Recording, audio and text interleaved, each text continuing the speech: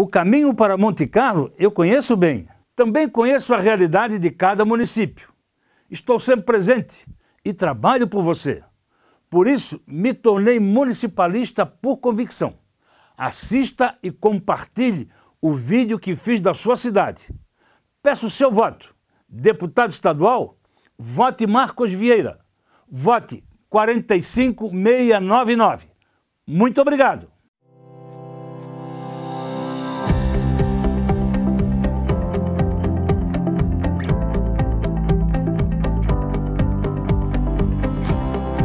A Guerra do Contestado marcou a história do meio-oeste catarinense.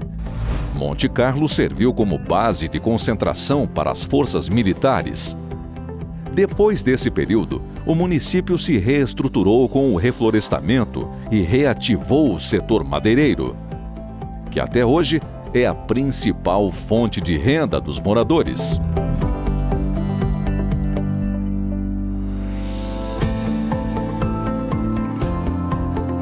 Forte da economia de Monte Carlo é na agricultura e no reflorestamento.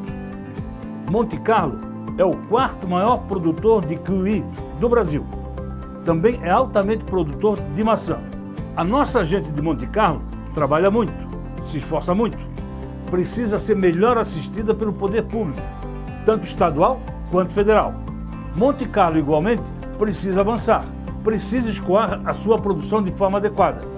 Fazer a revitalização da rodovia que liga Monte Carlo à BR-470 é necessário.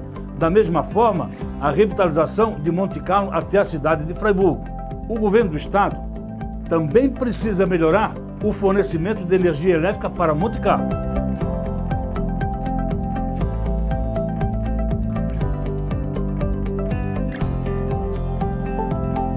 Monte Carlo, orgulhosamente catarinense.